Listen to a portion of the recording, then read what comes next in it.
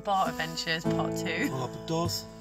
So it's become really foggy here, and um, I had some shoots planned, but the fog's now taken over, so we're not doing it. So I've decided what can I do on a foggy day, except do ghost portraits. Stop it! Stop it! Do ghost portraits around Northampton because the town's pretty much dead at the moment. So it's like it's like a metaphor. But I wanted to show you could do gr- creative stuff with just a bed sheet and a friend. The tip is you need to look for available light. But behave, so I'll get in trouble. People are not happy when you're messing around in my videos.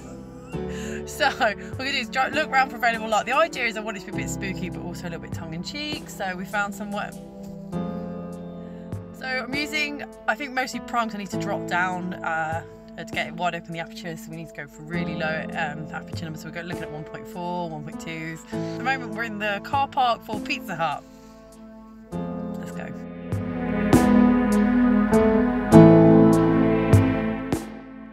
That's Bart over there as a ghost.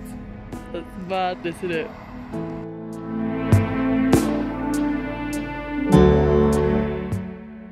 Bart over, Bart over there, just there.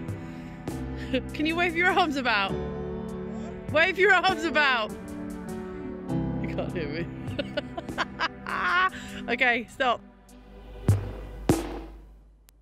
So the whole point of this shoot was because Northampton has been often called a dead, dead town, and it started to annoy me because I really like where I live. So what I decided to do, let me stay still. What I decided to do was to play on the idea that people call it dead town, go to these deserted locations with a ghost, which is essentially just a bedsheet from a super- supermarket that I found, and just doing shoots like that using the 85 and the 35. The idea was to convey a common thing I hear about my town, but almost poke fun at it because it's really not dead. It's just quiet at times, and we are in a lockdown, so also this feeling of isolation. And I know there's a lot more in the images that I thought there would be, so I've really enjoyed it. Here's the next one. It's quite cool, quite ominous. There's nothing there. I've been driven past this for ages and I really like it. So let's bring this down.